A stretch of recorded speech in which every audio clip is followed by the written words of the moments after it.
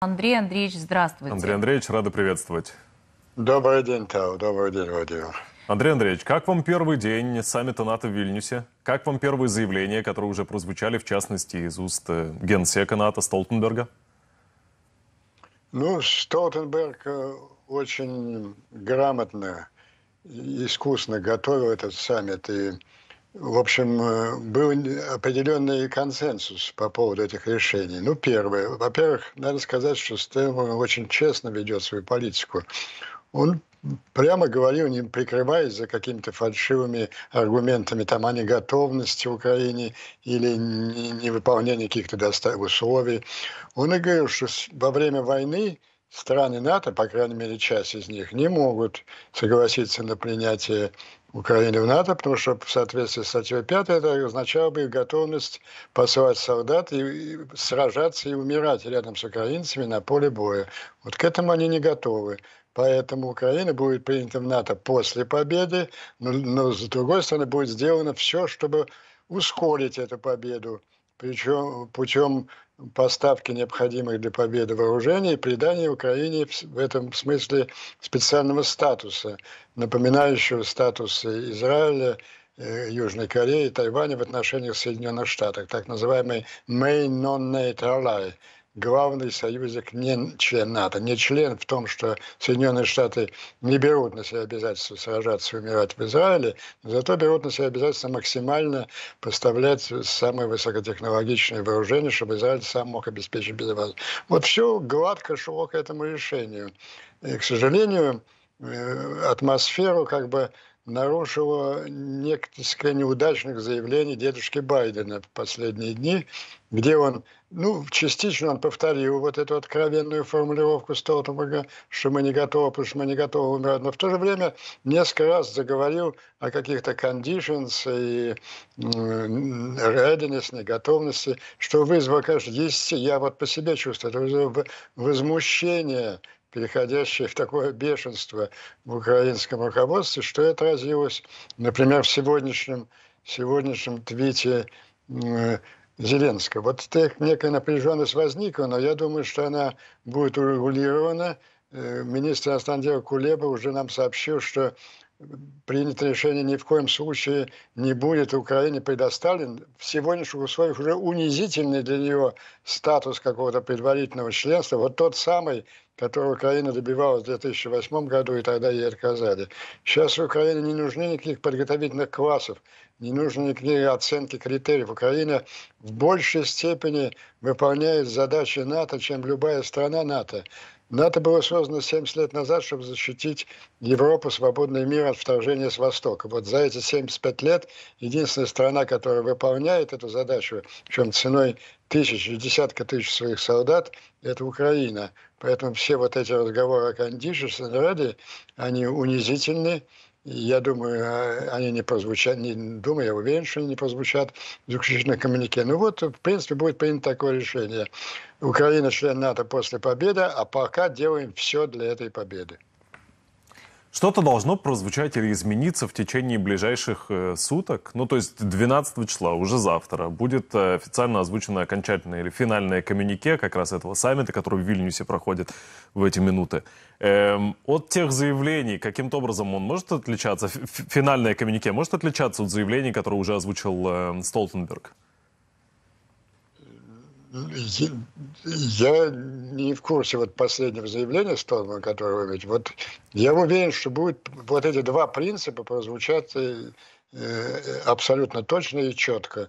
Украина да. вступает в НАТО после победы. Э, для достижения этой победы мы приложим все усилия и будут максимальные регулярные поставки вооружений. Я перефразирую Это... тогда, Андрей Андреевич, если позволите. Да, давайте для точности, что он сегодня сказал. Да, да, в частности, он сказал, во-первых, отмену ПДЧ, это как раз план, план действий по да, членству да, в НАТО. Да, и в то же время он заявил следующее. Украина станет членом НАТО или будет принята в ряды Североатлантического альянса после того, как все члены Североатлантического альянса с этим согласятся и будут выполнены условия. И тут важный момент. Это не вырвано из контекста, это не сложности перевода. Конкретно прозвучало «и будут выполнены условия». Но каких, о каких конкретно условиях идет речь, Эта информация из уст Столтенберга не прозвучала.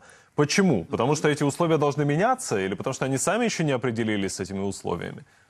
Я, я уверен, что вот таком, такой размытой формулировка не будет. И Украина никогда на нее согласится. Кстати, давайте не забывать, что Украина там не одинока. 23 из 31 стран НАТО выступают за немедленное принятие НАТО даже накладывая на себя обязательство посылать солдат сражаться в Украине. И вот это условие будет одно сформулировано. А еще раз повторяю, я уверен, что будет принято два положения. Украина будет принята в НАТО после победы, или, может быть, будет сформулировано там окончание боевых действий. И второе, что для достижения этой победы будет оказана материальная поддержка вооружениям. Вот эти два положения войдут, а третье, вот это уже достигнуто сегодня, никаких упоминаний о ПДЧ. Андрей Андреевич, а, накануне Байден а, встречался с Риши Сунаком, а, премьер-министром Великобритании. Как думаете, почему именно накануне саммита НАТО и что обсуждалось за закрытыми дверями? Для чего он туда поехал? Ну, это естественно. Он не посещал еще э, короля Карла III в его Виндзорском дворце после инаугурации Британии ближайший союзник. И мимо это совершенно естественная остановка. А что там обсуждалось?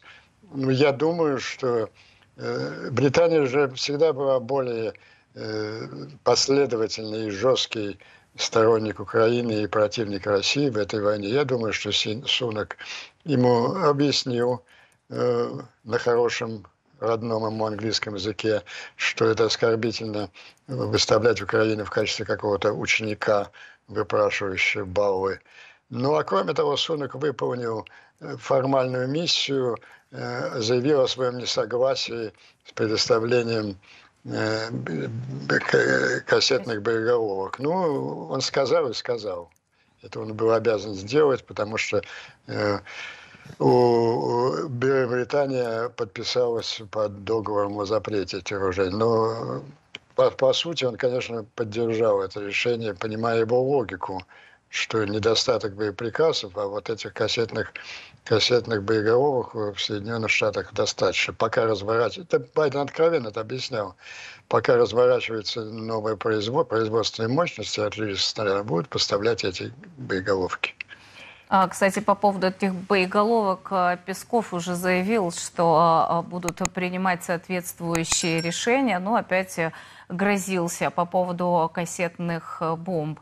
как думаете, будут ли действительно принимать решения и просто какие ответы? Ответов уже то, чем бомбит Российская Федерация украинскую землю, да, то есть уже, по-моему, всеми видами оружия, также запрещенного.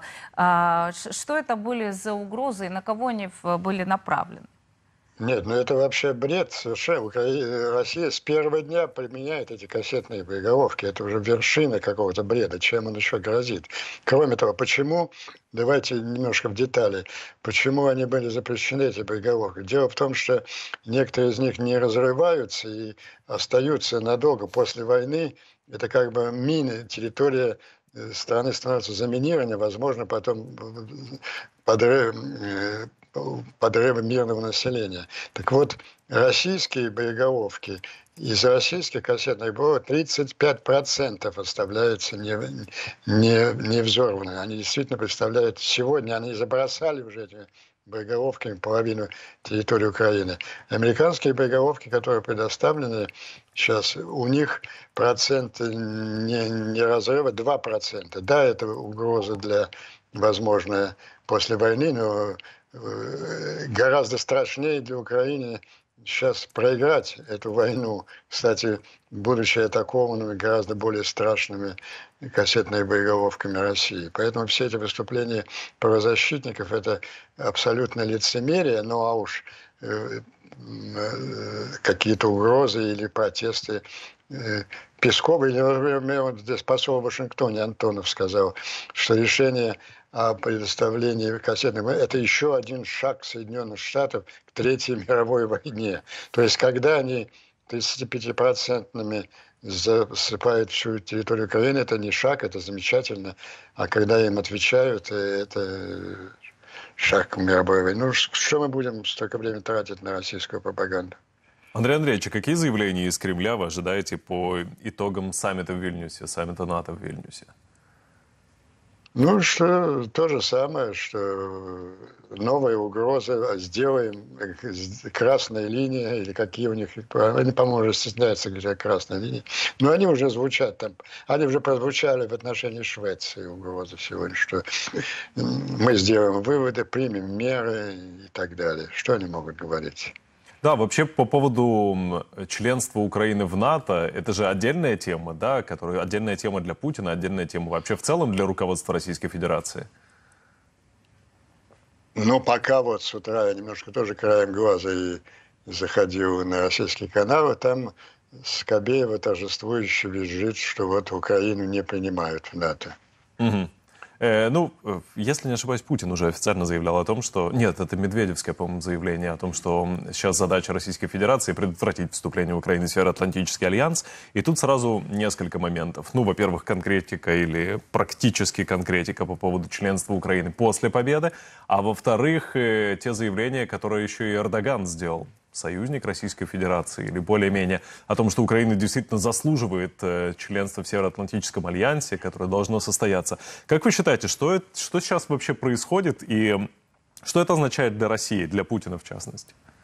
Ну, что касается Эрдогана, это пять, пять ножей, пять ятаганов в спину Путина. Это и возвращение азовцев, это и э, Эрдоган. Турция присоединилась к этому большинству в НАТО, 24 стране, которые за немедленное вступление. Но, по-моему, я уже не буду перечислять там по мелочи, извините, это не мелочь, конечно, э, завод э, Барастаров на Украине, но самое, самое болезненное для Путина тема Эрдоган – и Зеленский на совместной пресс-конференции очень ясно дали понять, что это дело, конечно, России. Будет ли она помог, продолжать помогать несчастным африканским странам, страдающим от угрозы голода? Если нет, то Турция и Украина будут продолжать это делать самостоятельно, а и торговые суда с украинским зерном будут сопровождаться военно-морским флотом Турции. По-моему, это предельно, предельно ясно. Вот, вот если хотите я сделаю маленький прогноз. Я-то как раз желаю другого, но я боюсь, что Россия прогнется и согласится на продолжение э, зерновой сделки. А если она не согласится, ну, ей придется встретиться с турец не только с турецким военно-морским флотом, но в трех регионах, в трех регионах российские турецкие войска по существу стоят друг против друга. Это и на Кавказе, это в Сирии, э, это в Ливии. И везде, в общем, у Турции оперативное и тактическое преимущество. Что это говорит об отношении Анкары к Москве, отношении Турции к России?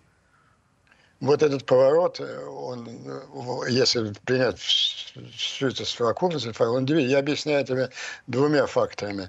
Ну, во-первых, американцы сделали им какую-то очень хорошую уступку. Ну, это ясно, 40 F-16 они добиваются несколько лет, они это получили.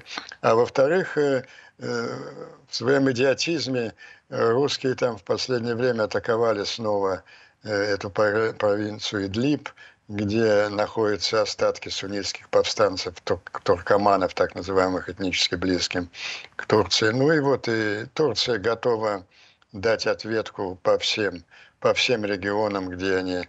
Э, ну и, и вот это раз, крайнее раздражение Кремлем и хорошая поддержка Соединенных Штатов сыграли роль в таком серьезном повороте турецкого.